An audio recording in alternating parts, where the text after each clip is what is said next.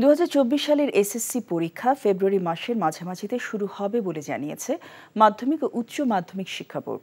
আন্তঃশিক্ষা board পরীক্ষা নিয়ন্ত্রক কমিটির আহ্বায়ক ও ঢাকা শিক্ষা বোর্ডের পরীক্ষা নিয়ন্ত্রক অধ্যাপক আবুল বাসর স্বাক্ষরিত এক বিজ্ঞপ্তিতে এ তথ্য জানানো হয়।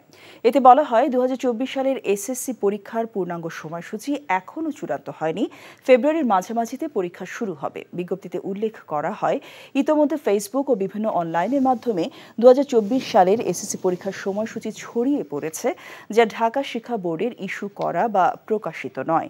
সময়সূচি চূড়ান্ত হলে সব বোর্ডের ওয়েবসাইটে ও জাতীয় পত্রিকাগুলোর মাধ্যমে জানা যাবে। বিজ্ঞপ্তিতে আরও বলা হয়েছে দু সালের এইচএসসি ও সমমান পরীক্ষা সব বিষয়ে অনুষ্ঠিত হবে। প্রতিটি বিষয় ও পত্রে তিন ঘণ্টা সময় পূর্ণ নম্বরে পরীক্ষা অনুষ্ঠিত হবে। অটোমেটিক বিকাশ করতে সেট করুন অটোপে। বিকাশ থাকলে আর কি লাগে?